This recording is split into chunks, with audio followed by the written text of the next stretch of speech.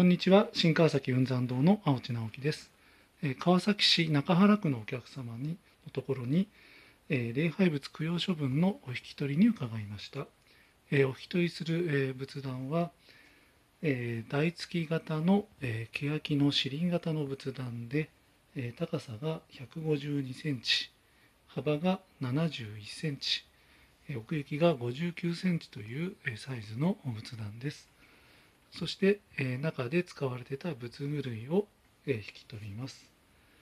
えーそれではこれから梱包作業をいたします。ありがとうございます。